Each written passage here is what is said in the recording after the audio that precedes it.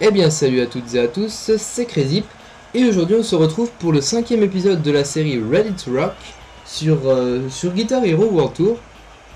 Et je vais vous jouer une musique que- qu'une personne m'a conseillée euh, que j'aime pas énormément mais ça, ça peut aller on va dire.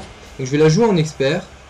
Euh, donc on va monter sur scène voilà un petit concert et donc ce sera la première euh, ouais voilà euh, donc ce- c'est de Nirvana et le titre de la musique c'est About a Girl. Donc voilà, je vais vous laisser profiter pleinement de la musique euh, et on se retrouve juste après.